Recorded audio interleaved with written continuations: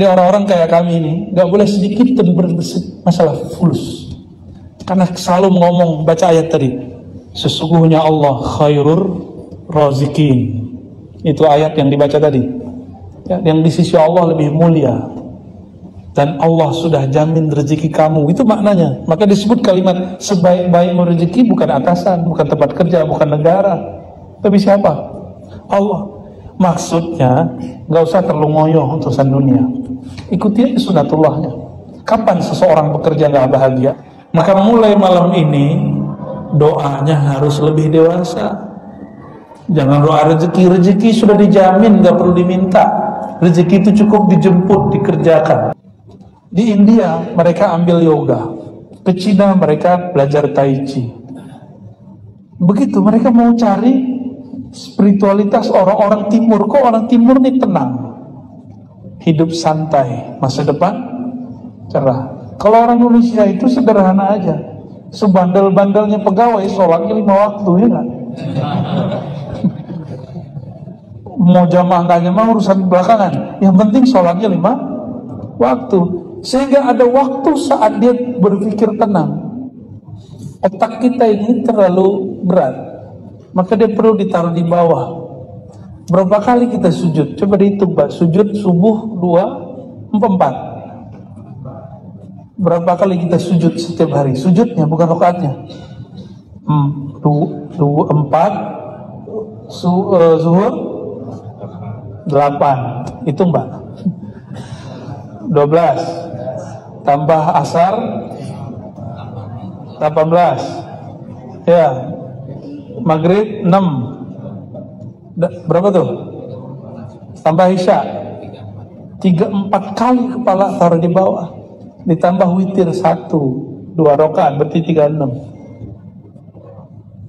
maka kepalanya aman dari stres. Karena darahnya kembali seger. Imam Ghazali ini ternyata juga seorang tabib. Kata beliau salah satu kebahagiaan orang itu salah satunya adalah kalau darahnya naik ke kepala aja tuh tenang. Bukan lewat marah. Kan kita kalau naikin darah marah dulu. Disebutlah sama orang kita nih naik darah. Kau nih buat aku naik marah ya kan itu kan? Naik darah itu bahaya. Bisa bikin gagal hidup. Nah, Imam Ghazali bahas itu pak. Sholatnya lima waktu khusyuk gak khusyuk insya Allah itu sudah menghilangkan stres Walaupun nanti ada yang bilang doa setelah sholat nggak boleh jamaah, berjamaah sendiri-sendiri. Itu urusan lain, itu urusan fikih. Yang penting kepalanya sudah diantuk-antukin ke bawah 34 kali. Itu luar biasa. Saya ketemu sama ahli ahli tai chi. Dia sudah 12 tahun lalu menemukan gerakan baru. Itu salah satu gerakannya itu ngantukin kepala ke bawah tapi pelan-pelan teng teng gitu ya. Karena ada bagian-bagian tertentu di kepala ini darah nggak kurang lancar ke sana. Dan seorang muslim nggak perlu latihan aneh-aneh begitu. Nah kita ada seorang jamaah perempuan berobat ke Guangzhou. Benar bacanya Guangzhou. Ya sampai di sana ketemu Shinsei mau diajarkan cara terapi mandiri. Mirip-mirip dengan yoga, mungkin reiki atau apa saya nggak tahu. Tapi orang ini melihat, senseinya melihat, kamu muslimah ya? Iya sensei. Kamu gak usah pakai ilmu saya. Kamu pulang kampung, nanti beberapa tahun lagi insya Allah ketemu orang yang ngajarin yang lebih canggih dari ini. Tahu-tahu dia ikut aliran ini, udah macam-macam ikut aliran. Untung nggak kena aliran listrik pak, masih hidup alhamdulillah. Udah macam-macam aliran, sampai pusing dia beragama. Tersesatlah ikut majelis zikir kita. Tersesat di jalan yang benar insya Allah.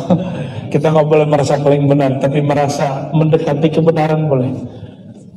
Di saat dia zikir, teknik zikirnya membuat dia flashback ke ke masa sebelumnya dan merasakan nikmatnya bukan main.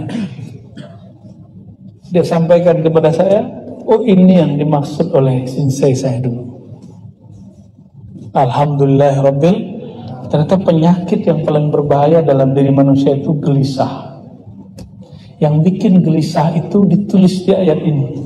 Wahai orang beriman, la tulhikum amwalukum wala auladukum an Jangan kamu dibuat lalai karena siapa? Dua hal.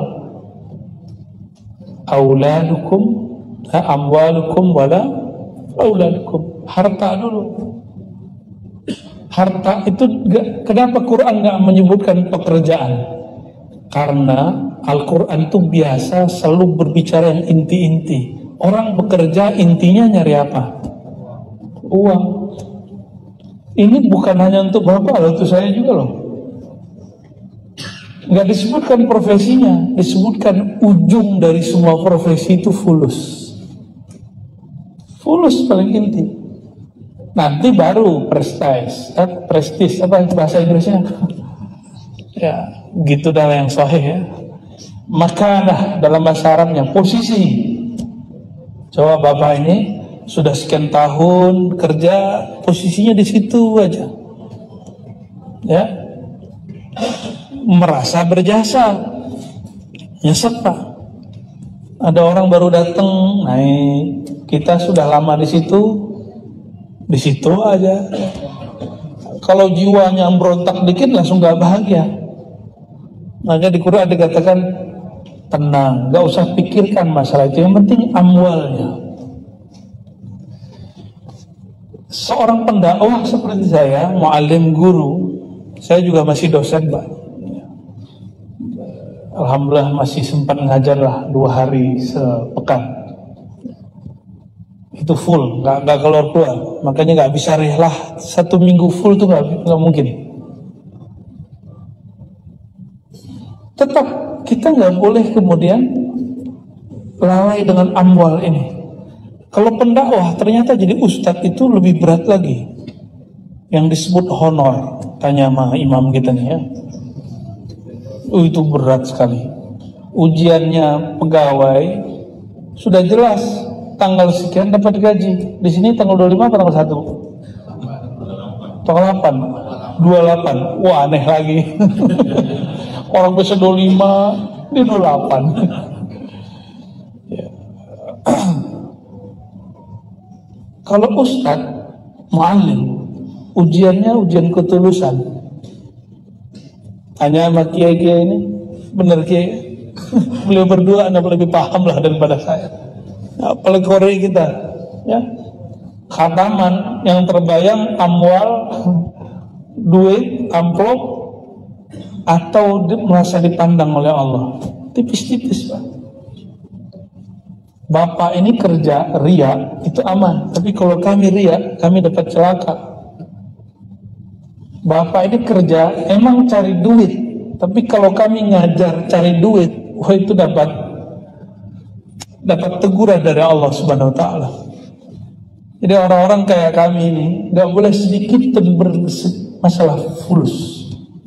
Karena selalu ngomong baca ayat tadi, sesungguhnya Allah khairur rozikin itu ayat yang dibaca tadi ya, yang di sisi Allah lebih mulia dan Allah sudah jamin rezeki kamu. Itu maknanya. Maka disebut kalimat sebaik-baik rezeki bukan atasan bukan tempat kerja bukan negara. Tapi siapa? Allah. Maksudnya nggak usah terlalu ngoyo untuk san dunia ikuti sunatullahnya. Kapan seseorang bekerja nggak bahagia? Kalau dia merasa apa yang dia peroleh ini belum memuaskan dirinya. Nah, Bapak mulai mulai terisi satu kerja, mending berhenti aja kerjanya ya. Cari kerjaan lain. Nggak akan nggak akan ini, nggak akan bahagia. Pensiun dini aja. Kalau sudah merasa berjasa, terus jasanya diambil orang, merasa sudah mencapai sesuatu, tapi pencapaiannya ditilep orang, berarti dia menuduh Allah salah menakdirkan dia bekerja. Tinggal pilih buat kerjaan sendiri enggak. Ada kawan saya buat kerjaan sendiri sekarang atasan dia dulu sekarang jadi bawahannya. Ada juga yang begitu ya. Cuma siapa yang berani ngambil risiko begitu? Tiap hari di, di teror maka BK. Ya. Allahumma salli ala. La tulhikum amwalukum wala auladukum an dzikrillah. Jangan kamu dilalaikan oleh pekerjaanmu untuk mencari harta, aktivitasmu untuk menghasilkan cuan, dan juga anak-anakmu. Kalau anak berarti ada maknya nggak? Kalau bagi perempuan ada bapaknya nggak? Hmm. Dari apa? Andzikrillah. Dari tugas utamamu di bumi yaitu mengenal Allah Subhanahu wa taala. Saya menerjemahkan zikrillah itu mengenal Allah di ayat ini. Jangan pekerjaanmu melalaikan kamu, jangan anak-anakmu membuat kamu lalai dari tugas asalmu, yaitu mengenal Allah Subhanahu wa taala. Lalu ada ancaman di belakang. Kalau wakil kepala buat pengumuman, siapa yang melakukan satu, dua, tiga, maka dia dipecat Pasti nggak ada yang buat. Satu, dua, tiga itu. Ya. Tapi sayangnya orang lebih percaya sama penguasa dunia yang zahir daripada penguasa dunia akhirat yang lebih zahir dari semuanya. Ketika Allah mengatakan siapa yang melakukan semua itu faulaika humul khasirun Siapa yang melakukan yang dia lalai dari mengingatku, mengenalku karena pekerjaannya dan keluarganya, maka mereka lah orang-orang yang rugi. Saya ngajar, lalu lupa wiridan untuk diri sendiri. Lupa untuk mengenal Allah Subhanahu wa taala. Itu seperti lilin nerangi orang dirinya terbakar, rugi. Bapak kerja cari dunia. Udahlah nggak ahli agama, ya kerjaannya melupakan dari Allah. Itu rugi dua kali. Tapi tenang, tidak ada pekerjaan yang dia luput daripada nilai spiritual. Kalau kami ini gampang, karena teksnya sudah ada. Kalau orang bekerja, nilai spiritualnya satu, al-ihsan an ta'budallah ka'annaka tarah. Ihsan itu engkau beribadah. Saya mau tanya mencari nafkah untuk keluarga ibadah ibadah. Berarti kerjaan bapak ibu ini ibadah bukan? Ya jadi istri-istri bapak ibu-ibu suaminya lagi ibadah tapi saya tanya balik pak ini pertanyaan lanjutan. Kalau sholat subuh dua rakaat ibadah bener berani nggak korupsi? Dua setengah apa satu setengah rokaat berani nggak? Lagi sholat subuh sendiri nggak ada yang dengar nggak usah baca fatihah deh langsung aja gitu. Ya bisa nggak begitu? Kalau orang menganggap dirinya sedang ibadah dia nggak berani korupsi. Yang ada nanti rukhsoh rukhsoh itu fasilitas kalau kerja kita ibadah Gak mungkin orang kemudian tidak amanah dalam bekerjanya. Kenapa? Dia seakan-akan memandang Allah Subhanahu wa taala. Kalau belum merasa memandang Allah, merasalah dipandang oleh Allah. Sekarang di kantornya ada CCTV, Pak. Waduh, ngeri juga ya. Enakan jadi ustadz begini ya. Ngajar di kelas, ngajar di kampus, nggak perlu ada CCTV. Cuma sekarang kalau ceramah bukan CCTV, Hmm. ya. Jadi kalau canda pun sekarang nggak boleh begitu parah gitu ya. Baca ayat pun saya nggak boleh dalam-dalam sekarang. Karena ternyata ada yang rekam. Kita buka lebih dalam, kiai marah. Kamu kok buka ilmu itu di hadapan orang awam? Saya buka dikit-dikit, orang awamnya protes. Ustadz, kok ngajinya gitu-gitu mulu? Serba salah.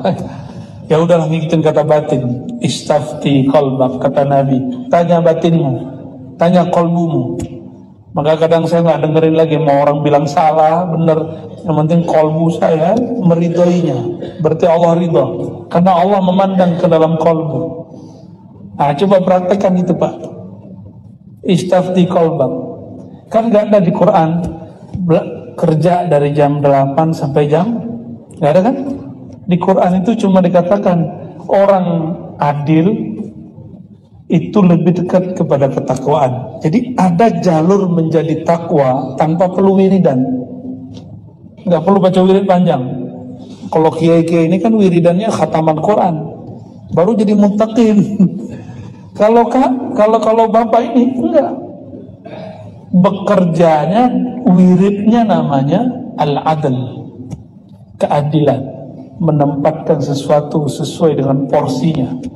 Itu wiridnya para pemimpin, para pegawai, para pekerja. Mampu mewiridkan ini jadi wali Allah meskipun tidak berserban. Jadi kekasih Allah meskipun tidak sarungan. Ya?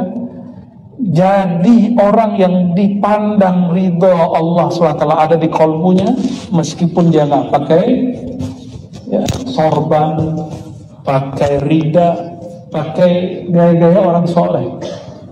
Dan kesolehan hakiki ada di kolbu. Jadi Bapak Ibu yang bukan Allah, jalan menuju Allah itu banyak. Ya, jalan menuju Allah itu banyak. Sebanyak nafas manusia. Maka kita punya jalan kepadanya sedekat nafas dengan diri. Ini yang dimaksud di dalam Al-Quran. Wa nahnu aqrabu ilaihi min hablil warid kami lebih dekat kepadanya daripada urat nadi. Bukan di urat nadi. Karena urat nadi pembuluh darah masih bisa dialiri syaitan. Tapi Allah lebih dekat dari itu. Kalau kita cuma mengutamakan fisik ini ibadah fisik yang kemudian disebut dengan kata nadi di situ itu masih bisa kesusupan masih bisa kesukaan syaitan. Nah, apabila kita semangat, nah ini bagian akhir yang mau sampaikan. Kita semangat bekerja kalau ada pimpinan di ruangan itu, benar nggak? Ini bapak-bapak ini, ibu-ibu, pimpinan kita sengaja lewat di samping kita.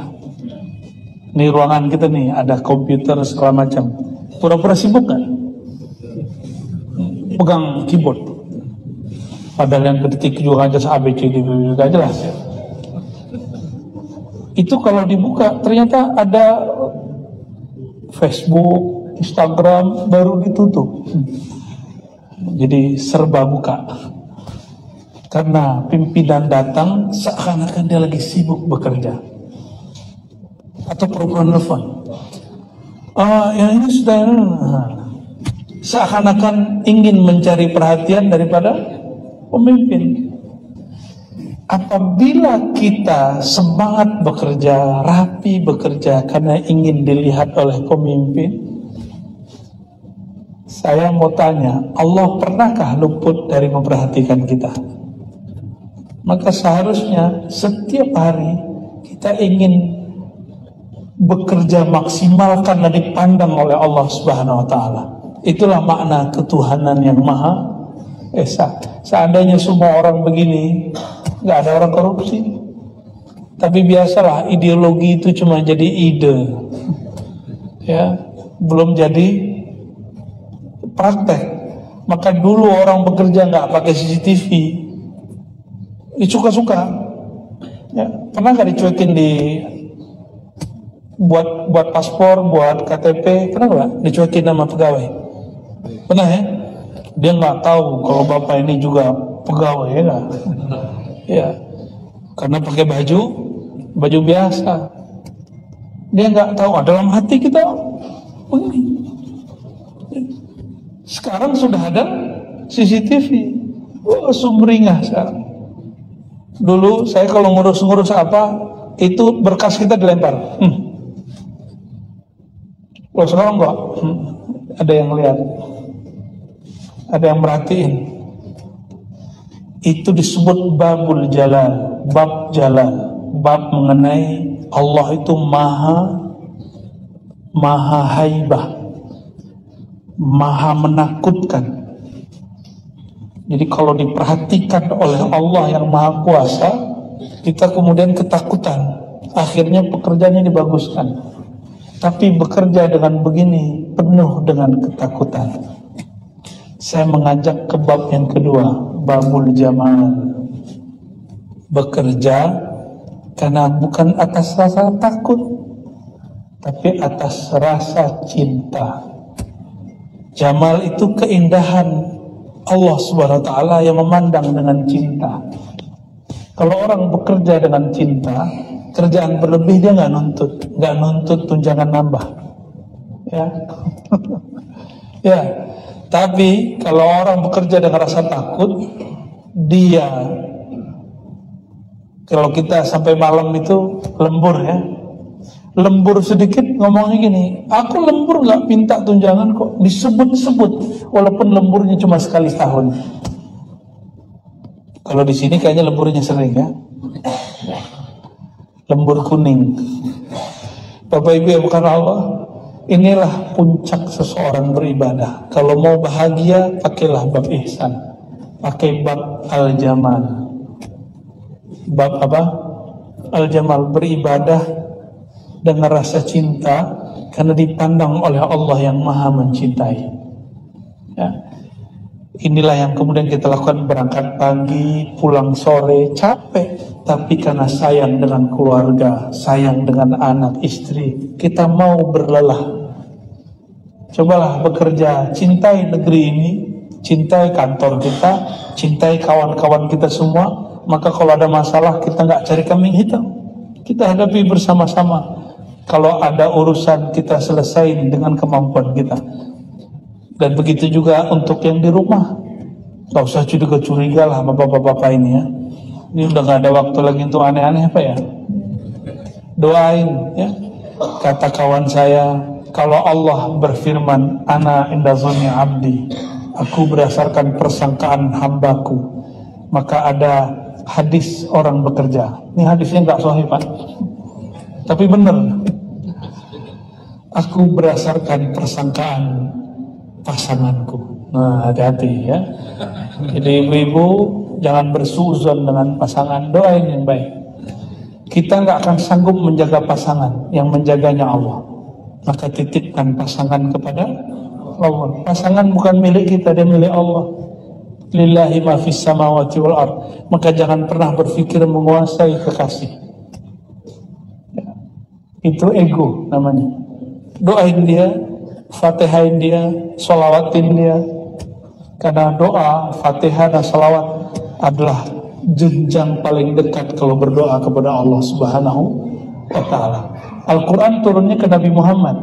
Nabi Muhammad yang diturunkan ke beliau Al-Fatihah dan yang paling dekat kepada Allah Nabi Muhammad. Jadi kalau doa Fatihah, salawat, Fatihah, salawat. Kalau perlu masuk kantor baca Fatihah. Bid'ah enggak? Enggak. Kata Nabi, afdalud doa alhamdulillah. Doa terindah itu baca surat alhamdulillah. Surat alhamdulillah itu bahasa hadis. Surat alfa. Jadi kalau ada pemimpin pagi-pagi mulai doa enggak? Jamaah enggak? Mari kita mulai kerja ini. Dimulai Pak. Ada enggak? Bersama-sama Pak. Di, di Jawa sudah begitu Orang di kantor-kantor jam 8 langsung ada suara Bapak Ibu apa pun agamanya ya, mari kita berdoa dengan kebanyakan kalau kebanyakan muslim pakai muslim. Ya mari kita mulai pagi ini dengan memohon ridho Allah Tuhan yang Maha Esa untuk keberkahan negara kita dan tempat bekerja kita dan keluarga kita. Berdoa dengan ajaran masing-masing. Misalnya begitu. Tapi kalau yang muslim langsung aja. Kan kita mayoritas. Tidak apa-apa kok. Al-fatihah insya Allah diberkahi tempatnya ya. Semoga bermanfaat. Semoga pekerjaan ini bukan menjauhkan kita dari Allah tapi membuat kita tambah dekat kepada Allah subhanahu maka mulai malam ini doanya harus lebih dewasa. Jangan doa rezeki, rezeki sudah dijamin, nggak perlu diminta. Rezeki itu cukup dijemput, dikerjakan. Ada kesempatan kerja kita kerja, ada asbab kita ambil. Lalu mintalah syukur, nggak usah minta rezeki. Nahnu narzuquka, kata Allah. Kami yang kasih kamu rezeki. Nggak usah khawatir, Allah yang jamin. Karena Allah yang mengirim rezeki, Allah itu lebih canggih dari semua kargo. Semua yang ngirim-ngirim itu apa namanya? Hmm? Ekspedisi. Semua ekspedisi kalau alamatnya jelas, namanya jelas, nomor rumahnya jelas, salah kirim nggak? Jarang salah kirim kalau sakit tinggal komplain. Masa Allah kalah sama ekspedisi. Ya, boleh kita iklan sebentar ya. Apa namanya? JNE. apa lagi? Tiki, apa lagi? Ya, ada yang lama dan tua pos Indonesia. Cuma sayang kita ini kemakan iklannya. Itu semua nggak akan salah kirim kalau alamatnya jelas.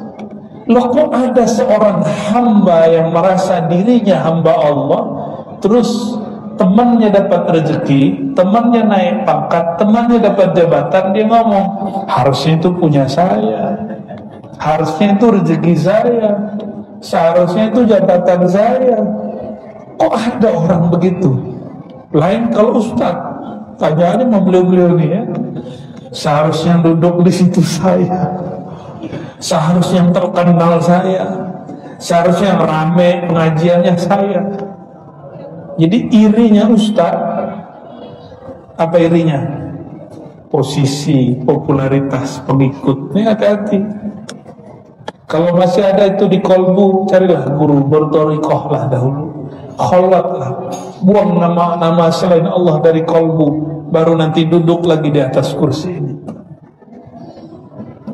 berceramah lagi lah setelah itu kalau enggak ceramahin dulu diri kita masih terasa enggak enak kalau ada orang ngaji. Lebih bagus pengajiannya dari kita ini untuk para ustadz nih. Saya nyeramain diri saya sendiri. Suluk lagi pak. Cari guru lagi. Saya karena tahu diri saya ini enggak suci berubah-ubah maka setiap ke negeri mana pun biasanya saya cari guru kecuali di Batam. Udah nggak sempet. Mau jalan mau ziarah aja nggak sempet listnya udah panjang. Tapi nggak apa-apa. Coba perhatikan kita ke mana-mana sehingga guru kita sangat banyak sekali. Saya ingin mengikuti jalannya para imam imam Bukhari imam Muslim. Mereka ini punya guru banyak ribuan gurunya. Sehingga dia punya dalil banyak kepada Allah punya torikoh banyak kepada Allah subhanahu wa ta'ala. Bapak ibu saudara saudari kemakan Allah apabila cara sholat fisik mesti ada gurunya yang membimbing dan bukan sekali dua kali. Kita berkali-kali datang baru bisa sholat. Masa ada orang pengen instan ingin bertemu Allah bertemu Rasulullah masa ada orang ingin instan merasakan dahsyatnya menyebut nama Allah? Nggak bisa instan. Kita betapa tidak adil terhadap diri untuk mendapatkan rumah untuk mendapatkan hidup yang berkecukupan. Berangkat pagi pulang sore. Benar? Berangkat pagi pulang sore. Supaya apa dapat gaji dapat duit itu ATM-nya biar keisi sabar kena macet kena hujan kena panas Kapan ada orang sabar supaya nama Allah dia tabung ke dalam dompet kolbunya? Dia mesti menahan rasa kantuk. Dia mesti ngurangin makan. Mana ada orang yang begitu hari ini? Kalau nggak berguru nggak mungkin. Maka ulama kita mewajibkan berguru sebagaimana belajar fikih wajib punya guru, belajar zikir pun wajib punya guru. Apa beda ilmu fikih dengan ilmu zikir, ilmu tasawuf? Ilmu fikih mengetahui sihah kesahihan dan ketidaksahihan. Sahihan kana atau batilan sah sahkah amalan ini atau batal? Ini siapa yang punya ilmunya? Ahli fikih bid'ah atau sunnah ini tugas ahli fikih usul fikih tapi ternyata ada ilmu mengetahui sholat kita tadi itu diangkat apa enggak. Itu bisa dicek. Ada indikatornya. Ada syarat dan rukunnya. Ada syarat dan rukunnya. Udah belajar belum ilmu gitu? Belum ya? Belum, makanya nggak ketahuan nih soalnya diterima apa enggak nih. Wallahu alam bis. Akhirnya ngomong wallahu salam sampai mati begitu terus. Terus gimana nasib mau mati? Kalau sholat kita belum tahu kita diterima. Kita nggak tahu zikir kita usul atau tidak. Gimana mau menghadap Allah Subhanahu Wa Taala? Mau pulang kampung tapi nggak pernah membantu orang di kampung, minimal bantu orang tua bantu saudara, bantu tetangga, bantu orang di kampung. Berani pulang kampung. Enggak disambut sama orang kampung. Maka berkirimlah. Sebutlah nama dia, itu benar benar berkirim. Wirid, wirid itu sedang berkirim kepadanya. Setor, seperuh menghadap kepada Allah supaya Allah Subhanahu wa taala sambut kita nanti. Wala takunu kalladzina nasullaha fa'ansahum anfusahum surah Al-Hasyr. Jangan kamu menjadi orang yang lalai kepada Allah. Nanti Allah juga pura-pura lalai kepadamu. Jadi kalau nggak pernah mengenang-enang yang di kampung, orang kampung nanti cuek sama kita. Nah, pemilik kampung akhirat itu Nabi dan Muhammad SAW Beliau lah rajanya. Ana sayyidu waladi adam yawmal kiamah Kata beliau. Akulah tuannya Aku yang menguasai nanti di sana. Maka siapa pun para nabi Tidak akan dapat izin membantu siapa pun Kecuali izin dari Nabi Muhammad SAW Nabi Muhammad siapa yang mengizinkan? Allah. Yang boleh sholat di atas aras yang paling tinggi itu cuma Rasulullah. Maka disebutkan dalam hadis setiap kali ada yang datang kepadaku para nabi para umat-umat yang yang mampu mengakses Rasulullah jadi nggak mudah ketemu Rasulullah. Nih gampang nih. Saya bukan orang suci. Saya cuma muallim bulu ketika mau datang kalau rame-rame sudah ada yang jaga benar nggak Antum bayangkan Rasulullah datang. Berapa banyak orang yang ingin berebut datang. Ingin memegang tangan beliau. Coba bayangkan itu. Itu di dunia Gimana nanti di akhirat Semua umat ingin memegang tangan beliau Dan mengatakan Isfa'alana maka sebelum mati baca itu banyak-banyak. Isfa'lana ya Rasulullah. Beri syafaat kami wahai Rasulullah. Bantulah kami wahai Rasulullah.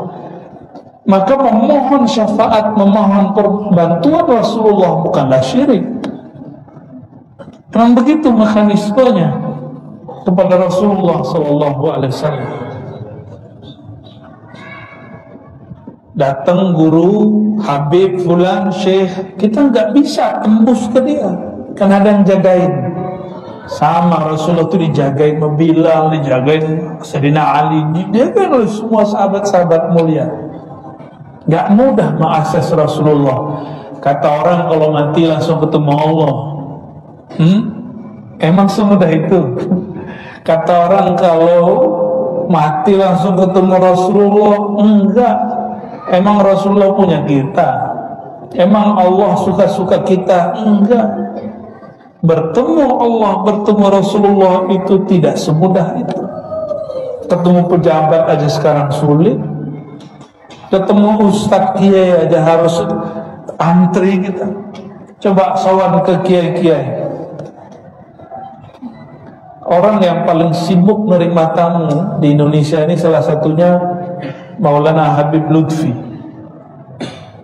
Ketua Jatman pimpinan Jatman, bukan ketua lagi, udah imamnya sudah. Amalan beliau, jangan antum lihat amal zahirnya. Beliau itu setiap hari ada tamu. 24 jam, bayangkan. Ya, saya beberapa kali lah, Masya Allah, nggak sanggup kita. Sanggup kayak beliau, didatangin orang tiap hari. Ya, kalau antum kebayang didatangin di amplopin ya? Enggak. Cuma kadang-kadang ngadu sama beliau. Enggak. Beliau enggak butuh lagi yang begitu.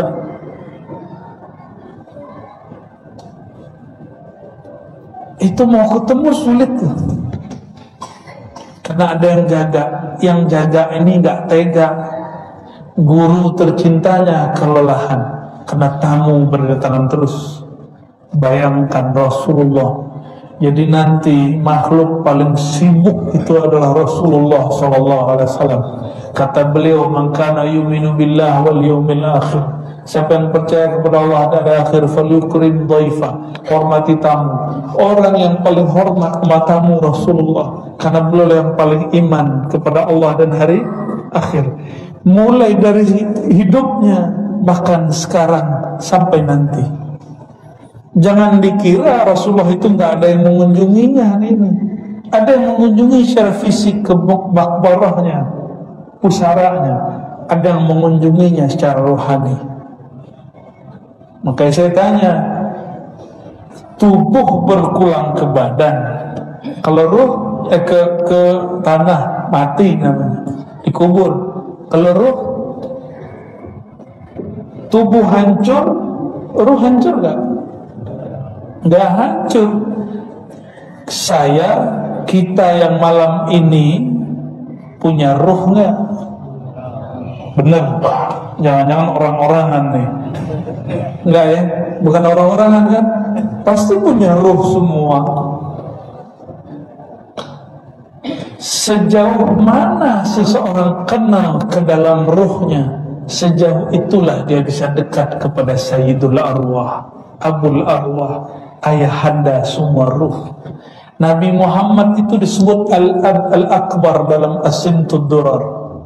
Dalam doa penutup dengan berkah Al-Ab Al-Akbar, Bapak yang agung. Jadi Rasulullah itu nama lainnya adalah Abul Arwah. Apa nama lainnya? Abul Ayahanda Ruh. Jangan dibayangkan bapak ruh itu bapaknya punya ibu kawin gitu enggak. Itu cuma istilah. Bapak, ibu, bapak ruh, induk ruh. Itu cuma istilah. Karena ruh tidak laki, tidak perempuan. Ruh itu sudah ada sebelum bumi ini ada. Karena dia sudah sangat tua Ruh ini dulu pernah berkumpul Makanya sekarang pun berkumpul. Jadi guru kita di Sumeneb namanya Abu Yataifur bin Ali Wafa An-Naqsyabandi Beliau lama di Mekah ngaji kepada Syekh Ismail Zain Al-Yamani Al-Makki. Kata beliau Orang kalau dulu di alam arwah pernah bertemu Pernah bertemu maka di dunia dia akan ketemu lagi apa pun caranya bagaimanapun wasilahnya pasti ketemu Cuma setelah ketemu apakah bertahan itu lain cerita. Ada yang sudah ketemu tengkar, ada juga. Ada yang sudah ketemu terus khianat, ada juga. Yang penting ketemu dulu. Semoga pertemuan malam ini bukti kalau ruh kita dulu pernah bertemu. Ya, cuma dulu nggak laki nggak perempuan. Laki perempuan itu jenis fisik, jenis fisik. Ruhani kita bukan fisik. Jamaah yang makan Allah Udah setengah sepuluh aja ya Besok masih kerja kan? Masa libur Gak yakin aneh Apabila ingin mengenal tubuh ini mengenal anatominya, mengetahui penyakitnya, diagnosanya, obatnya mesti ada dokter.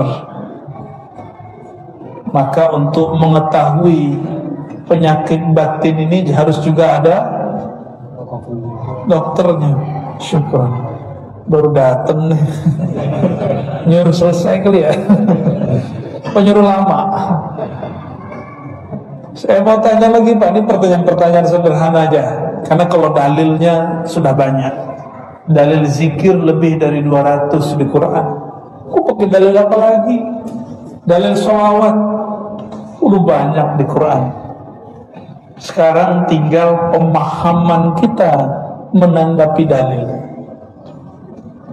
Rumah makan seafood banyak, rumah makan Padang pun bertebaran sama-sama mereknya A tapi rasanya beda nggak? Sama-sama seafood tapi lain. Sama-sama rumah makan Padang lain. Rumah makan Sunda kok lain-lain? Yang membedakan apa?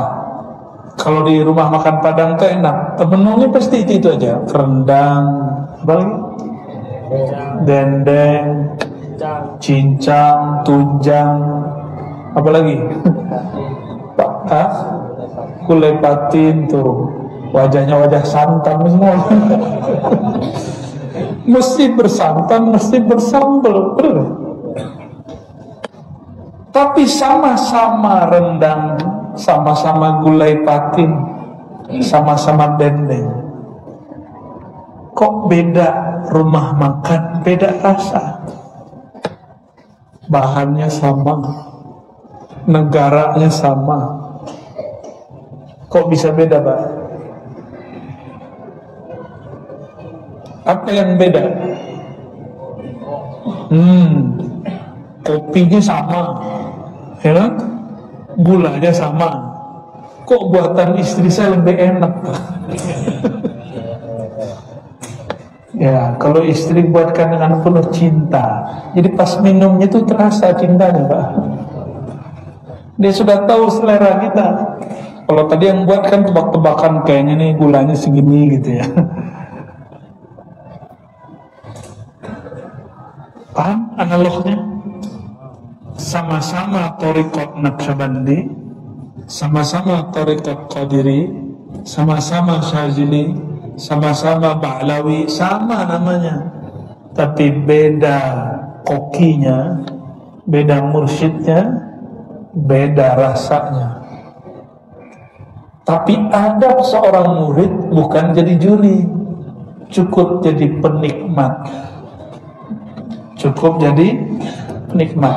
Ini cuma analog saya tidak mau menyamakan torikoh dengan rumah makan. Analog aja kalau di Torikoh sudah bayat sama dengan kita masuk sekolah. Bisakah kita menyekolahkan anak dua tempat di jam yang sama? Hmm. Kepala sekolahnya mesti satu, tapi guru-gurunya boleh banyak. Paham maksudnya? Kamu boleh paham? Ya, sekolahnya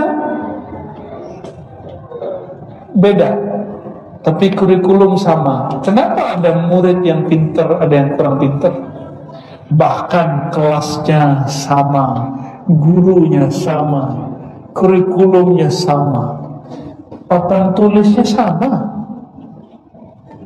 Kok ada murid yang cerdas, ada yang kurang cerdas? Kenapa? Nah itulah anugerah Allah subhanahu wa ta'ala. Anugerah Allah nggak bisa diapa-apain lagi. Karena ada santri, murid Matanya lihat Tapi dia tidur sebenarnya. Ya, udah pernah lihat belum? Oh kalau pernah ngurusin santri lucu pak. Ada santri Allahu Akbar Itu lagi berdiri tidur kita roku udah sujud dia masih berdiri. Ada loh santri bisa tidur lagi berdiri. Ini orang ini. Ya. ada juga yang agak canggihan dikit pas sujud nggak balik-balik. Itu ngalir lahar ngalir. Guru bilang begitu mau marah saya? Nggak dimarahi nggak berubah anak guru ditungguin. Coba muridnya ada di kelas gurunya jalan-jalan. Muridnya jadi nggak? Maka jadi mursyid tariqah. Kalau sedang musim khalwat musim suluk adabnya guru nggak boleh ceramah keluar. Nanti muridnya masuk angin nanti muridnya sujud lama nggak ada yang bangunin Paham maksudnya? Jadi jangan nggak usah mimpi jadi mursyid. Jadi mursyid sulit pak kalau kita PNS, karyawan itu sulit. Ada satu dua yang berhasil melaluinya, tapi rumitnya bukan main. Mesti orang yang free, bebas. Yang nggak boleh diatur kecuali oleh Allah dan Rasulullah Sallallahu Alaihi Wasallam. Sama gurunya, gurunya panggil, kamu datang, datang. Sanggup nggak begitu? adab. Orang kalau sudah bayat tolekoh itu adabnya sangat ketat sekali. Seperti kita beradab di sekolah. Kata sekolah hari ini mau hujan gak hujan harus datang. Inilah tidak adilnya manusia. Untuk sekolah urusan duniawi dia disiplin tapi untuk sekolah kolbu untuk menyelamatkan diri dia tidak disiplin. Datangnya suka-suka belajarnya suka-suka. Makanya Allah cuma ngasih suka-suka aja